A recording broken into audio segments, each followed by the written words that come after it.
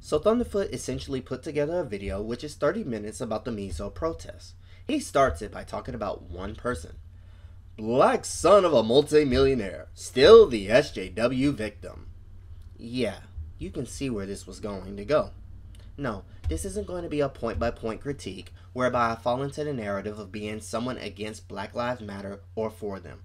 Instead, I'm going to point out what's been nagging me about Thunderfoot's approach and try to be the bigger man here. You see, I followed Thunderfoot for the Anita Sarkeesian videos and found that some of the research to be good while some of the approach to be self-centered aggrandizing to stroke Thunderfoot's ego. The gods know this guy doesn't need an ego boost. Regardless, when he approached this topic, I can only facepalm so hard. If you follow Gamergate at all, you know very well that the problems of feminism aren't the only issues. A corporate media structure which allows for them to fan the flames of ignorance was central to what a number of people were against. And Thunderfoot falls right into their narrative about what's been going on without any actual research outside the mainstream media. So he talks about two people at the center of the Mizzou controversy. One of them is a black hunger striker, Payton Head. The other is a communications adjunct professor who tried to silence the press.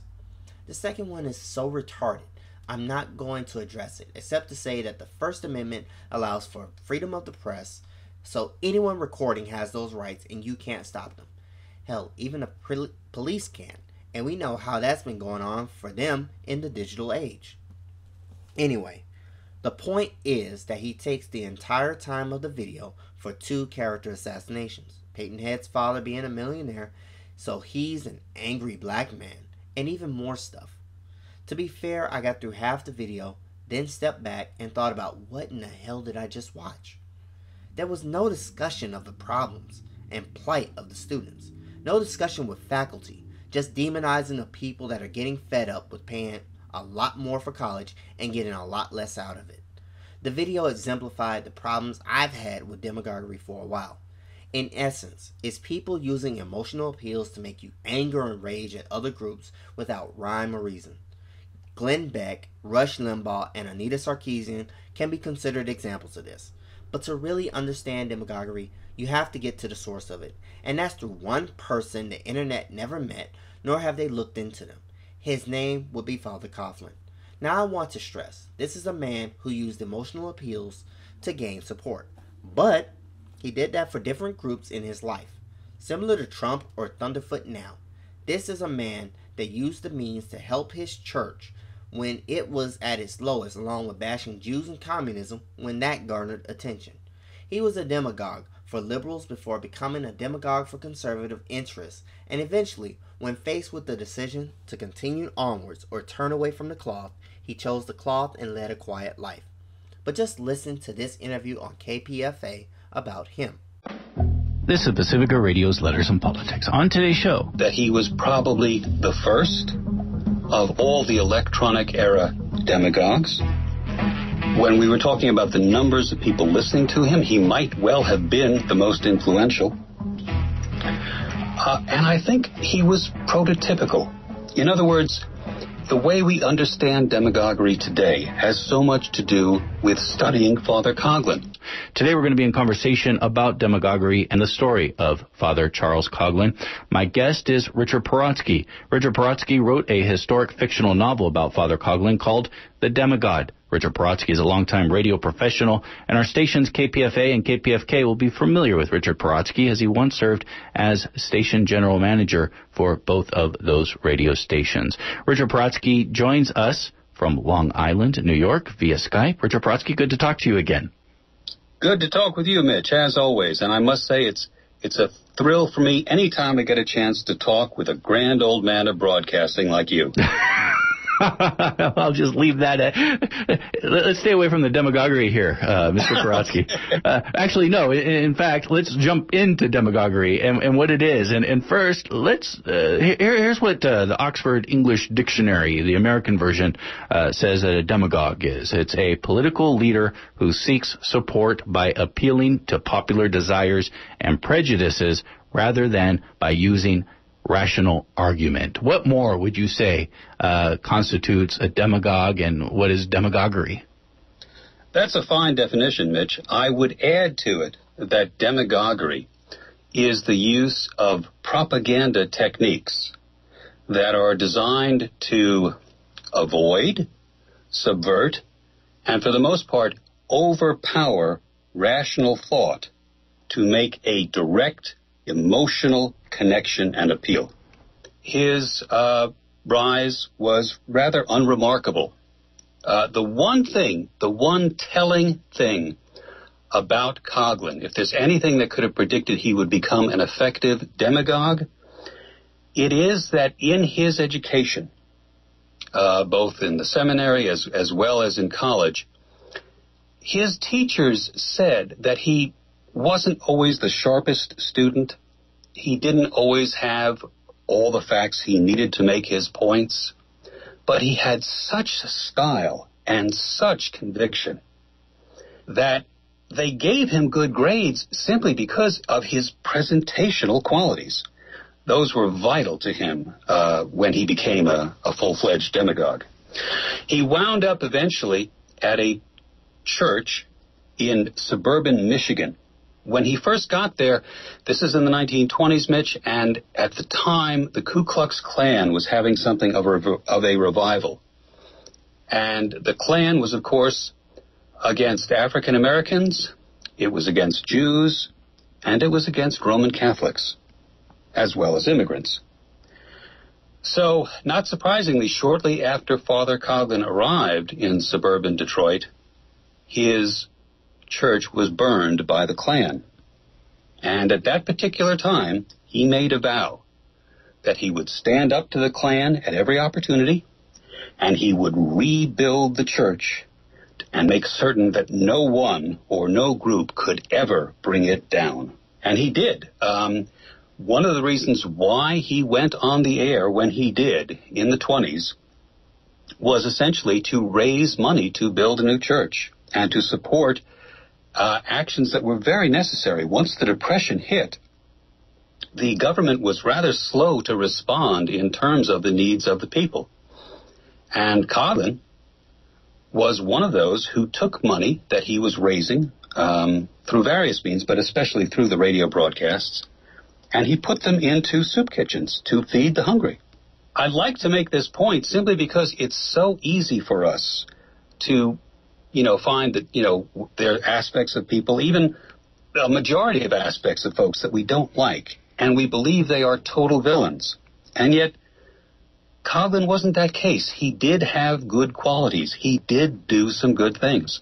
He, he was a populist. He, he supported popular programs. He, he supported many self, uh, social welfare programs. Yes, he did, Mitch. And he would have gone on supporting them. And I, I really can't say that his support of these was totally a matter of altruism. He honestly believed that by supporting President Roosevelt, that he would become, to some degree, a member of the administration. But of course, that never happened, and it couldn't happen because certainly the Roosevelt administration couldn't afford to officially sanction a demagogue like Coughlin and bring him into the inner circle. Once it became clear to Coughlin that this was not the case, that he he had made a mistake and he was never going to be a confidant or uh, a member of the FDR administration. He decided that he would have to make some adjustment to remain popular and to remain an important figure. He couldn't rely on Roosevelt anymore. So initially, he worked with two other demagogues of the era, Dr. Francis Townsend and Senator Huey Long, to try to mount a campaign against Roosevelt in the 36 election. When that failed, and you had mentioned this before, Mitch, uh, you had talked about how Coughlin started out as a populist and then turned to a, uh, to become a, a rabid anti-Semite and a supporter of fascist regi- regimes like Nazi Germany. And that's the key to demagoguery too. Demagogues have beliefs, but they don't necessarily hold true throughout the career of the demagogue. Remember, the important thing for the demagogue is to be at the front of the parade and appear to be leading it, no matter which direction it's going.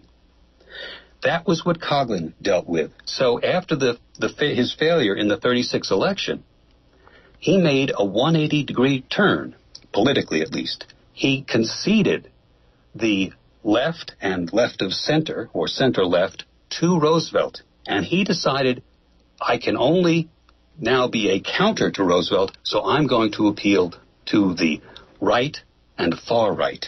And that's exactly what he did. The internet makes it incredibly easy to do any form of demagoguery. Thunderfoot is guaranteed success with his approach because all anyone has to do is say, I agree with you, nod their head, and then get into fights with opposing sides as if they're in a tribe. But then again, one of the biggest things he constantly rails on is feminism and the cult of ideas that begins there. So, how is he different? Essentially, Thunderfoot cultivates a rock star personality akin to a certain physicist that everyone knows as a smart man, Albert Einstein. Yeah, we're going there. You see, if you don't know much about the issue, Einstein had a very public battle with a certain philosopher by the name of Henry Bergson. No one really remembers Henry Bergson nowadays, but Jimena Canales explains the massive split of humanities and STEM that seems to have come from it. The consequences of this split are devastating, but let me let you hear it from her. Good day and welcome to Letters and Politics. I'm Mitch Jeserich. On July 11, 1923, Albert Einstein gave his Nobel Prize lecture on the fundamental ideas and problems of the theory of relativity. Probably not a surprise to most, as the theory is the most important discovery to physics since Isaac Newton and Gottfried Leibniz came up with calculus.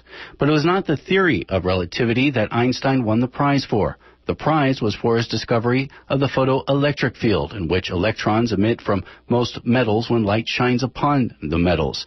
Einstein's lecture on the theory of relativity was, in fact, an act of defiance, as his theory came under scrutiny after he entered a debate with famed French philosopher of the time, Henry Bergson, on the nature of time.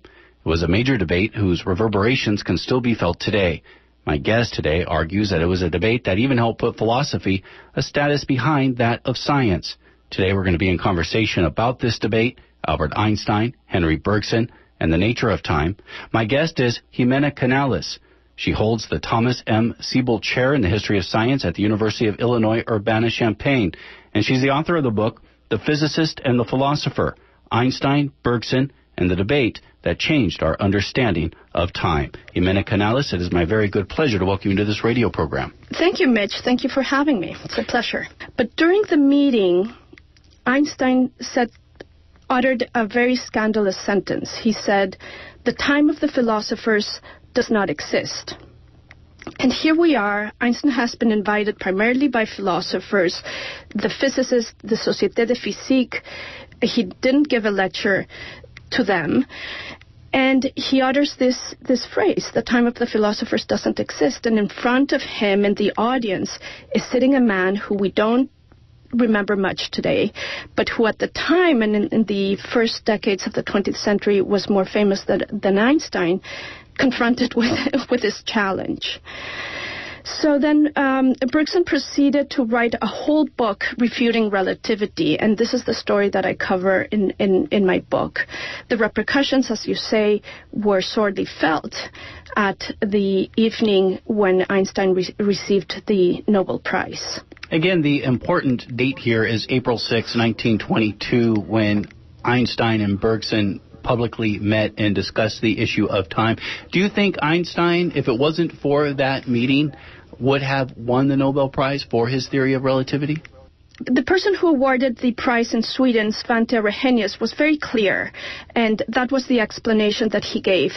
There probably were many other reasons as well, but the culprit that evening was listed as Bergson, and he said the great philosopher Bergson in Paris has contested the theory, and this theory is um, um, still being tested, but most importantly, he said the value of it will depend on epistemologists to figure out if we should adopt it or not. So the verdict, in a sense, was given to philosophy as uh, having the ultimate say with respect to relativity. And that's what's and meant by epistemologists? Yes, epistemologists would generally be people who study knowledge, and, and, and that goes to philosophers of science. And that's one of the areas of expertise of uh, Bergson and many of his students. So that was the reason that was given to Einstein right, right in front of him. And I, it seems that it was the moment where Einstein felt the consequences of his very provocative statement that, that uh, day in Paris, the April 6, 1922. Tell me about what the debate represents, and you touched upon this earlier, Jimena Canales, about how we get this split in philosophy and science. Now, now scientists used to be known uh, in, the, in the 1800s as natural philosophers. Yes, exactly, and um, and it is the question of you know what is the philosophy behind Einstein's um, um, theory is is quite complex complex because in the book when I talk about the division between science and philosophy, I'm not saying that there's no philosophical background to to Einstein's work or to Einstein's theory. He was inspired with by particular philosophers that were of a different ilk from those that were closer to Bergson. But what we do see here is the split between the humanities and the sciences, the relegation of the expertise to talk about time, uh, given to, to scientists, particularly to physics, we see the divide between our intuitive sense of time, where what's important for us is what one would call the arrow of time, what what happens in our everyday lives has to do with how we think about our memories and how our memories affect our future, and where we see time flowing and a view of time that is basically connected to a deterministic static universe. Can, can you tell me though about, about the coining of the term scientist? Yes, so the term scientist is actually quite of uh, quite recent origin. And one of the moments in which um, it made its appearance was in 1830, and this was in a discussion with a poet, William Whewell, who tells us that the term scientist should be used because the term, term nat- natural philosophy is too broad, and that we need a new terminology in order to more properly distinguish branches of philosophy. So that's when we start seeing, hearing a lot of more people using the term the term scientist. Jimena Canales, thank you very much. Thank you, Mitch, for listening. Thank you, thank you for having me on the show. Again. Now, bear in mind, Bergson never thought Einstein was wrong. He thought he was too focused on mechanization. But with this fight, you can see the results of the humanities falling by the wayside in a massive way. Now, you'll hear a lot of people argue about STEM versus humanities in a way that doesn't help anyone. Just think about what occurs with STEM. You educate your workforce to build new roads and bridges. But with the humanities, you learn critical thinking and analysis. You learn different ways of looking at the world and equipping a different lens from your own. Why in the world should we only have people learning from STEM as if the only thing you need is math? take a look at who's fighting against the growing militarism in Japan, and it's their humanities group the writers, the philosophers, the people that have a social conscience. But this mainly shows the results of a very narrow understanding of a situation and emotional appeals to the masses for support which don't have much in them except a veiled attempt at character assassination. How would a less vitriolic response sound? Welcome, friends, to another edition of Economic Update, a weekly program about the economic aspects of our lives jobs, incomes, debts, you know, all of that monetary stuff that intrudes upon the rest of our lives all the time. I'm your host, Richard Wolff. I've been a professor of economics all my adult life, and now I teach at the New School University in New York City. Next, I want to say a few words about another story in the press this last week, a very big and important story. It has to do with the University of Missouri. And something happened there that it's partly about economics and partly about other things. But the economics is what I'm interested in, and I want to say a few words about it in case that part of the story escaped you. For those who didn't Pay attention. Let me quickly remind you. Over the last week, it became clear that there were serious problems at the University of Missouri in Columbia, Missouri. Those problems included a new administration brought in recently to run the university, and, in their own words, to run it like a business. I have to say, as an economist, that it is a mystery to me, as it is to many economists, where this phrase, running it like a business, came from. The, the reasonable thing to run like a business would be, you guessed it, a business. And a university, last I noticed, wasn't a business. It's not producing and selling things, it's trying to educate people, which is a different activity. And why one should think we should run it like a business means you don't understand the difference between producing and selling a good and service on the one hand and teaching people on the other. Imagine if we arrived at the headquarters of businesses and threw out their leadership in order to bring in someone who will run it like a school. We would all think, wait a minute, there's a confusion here. But no matter, that's what American universities have been doing for a while now, as we live in a culture which thinks that something magical attaches to the word business. So in came the businessman, uh, Mr. Wolfe. No relationship to me, I'm happy to say. And he did one of those things that business folks sometimes do. He thought it would be really good for the university to save money, so he took away the medical insurance coverage of teaching assistants. You know, graduate students trying to write their doctoral dissertations, complete their education, become thereby the most educated people in the country. What a useful thing for a university to do is to make them all worried that they will not be covered if they have an injury, that they will not be covered if they get ill, that they will have financial troubles on top of already being poorly paid for the work they do as instructors, as adjuncts, and so on. This may be good business, but even that's a question, isn't it?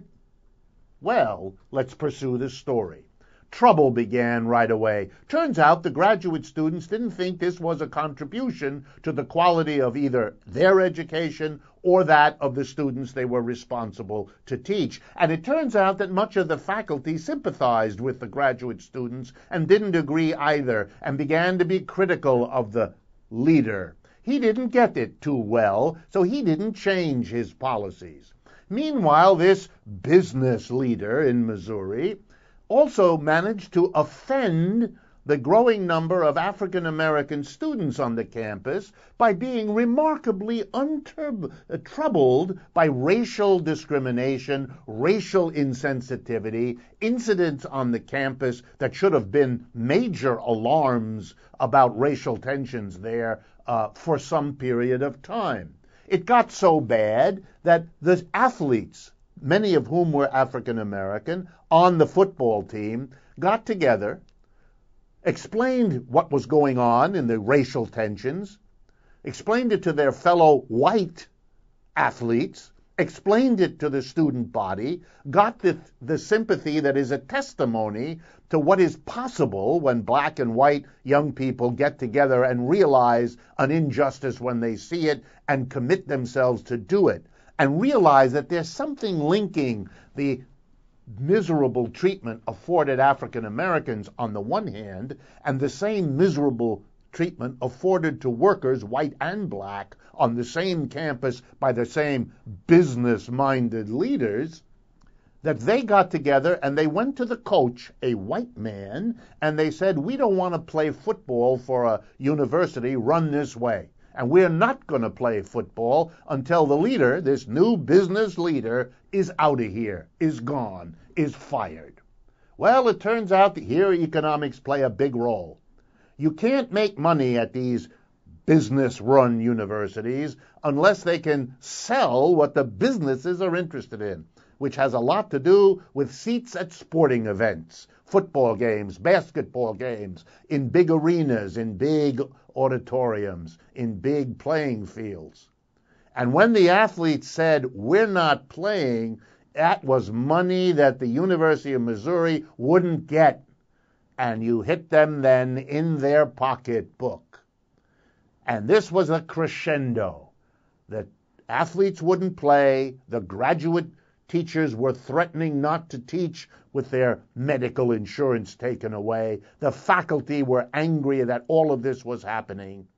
But that last straw was the solidarity of the African American athletes who took the leadership and galvanized white supporters, white fellow students too, many of them. And the president was booted out of there last week. That top of the, the business community taking over was fired. Not by anyone else, by their own action and lack of action on the obvious problems they could not or would not solve. It was a sign of black and white people getting together, understanding that helping each other with what afflicts them points them together at the same enemy. And that if they get together, they have the power, and the people who run the universities don't. It was a wonderful lesson, not only in working people and students who do a lot of work too on the modern business run university, that they, if they get together, have the power. And that the power of those at the top dissolves like sugar in water the minute those at the bottom say, We've had it, no more, we're going to take charge and rearrange things. It is a tragedy that it took this long. And it is a tragedy now to see how many in the media need to portray all of these events as if they were only about racial difference, racial tension. Yes, that was part of the mix. It was an ugly, unjustified abuse of African American citizens. But that's not all it was. And what made the change was not only the upset and anger and the leadership provided by the African American students and athletes. It was the fact that that leadership brought together African American and white students, teachers, athletes, coaches. That unity made it impossible for the university business run to continue business as usual. And that's an important straw in the winds of change sweeping across the United States. More or less a focus on the movements and the students fighting for change. People are being deceived by a mass media which has a sensationalist bias. Outrage culture comes from far more than the persecuted social justice warriors. It also comes from a number of reactionaries who utilize sophistry to climb up on the people they destroy. Education doesn't require you to inflame hatred against your opponents or antagonize them for being black. Political differences and political debate don't have to be brutal or tribalistic cults to survive. Our society is sadly polarizing, and the demagoguery we look into isn't helping. Thom Hartmann says in the book, What Would Jefferson Do? that we have to avoid these types of people. In What Would Jefferson Do? Thom Hartmann basically describes three separate people that are enemies of democracy warlords, theocrats, and plutocrats. A warlord will try to use national security to undermine democracy. A theocrat attacks a democracy. And, by Thom Hartmann's own words, the new aristocracy would be the corporatism and the monopolies that we have seen grow and rise in the last 40 or 50 years since the 1980s. I agree. What kind of society are we living in when we give in to the four horsemen of calumny fear, ignorance, bigotry, and smear? It's truly not a society worth living in when we spread hatred for all to see. I don't hate anyone that I criticize, but a look at the larger picture here should be worth looking into. Surrounding Thunderfoot is a number of people that take his words, take the rhetoric, and treat him as some form of rock star prophet that can't be wrong when the questions he presents are loaded anyway. Hell, even I can agree with some of his gamer arguments, while not liking the feminism stuff and how it works to divide people based on gender. But with this, this focus on black people and feminists, and no awareness of what is the result of such arguments, That's not something I want around me.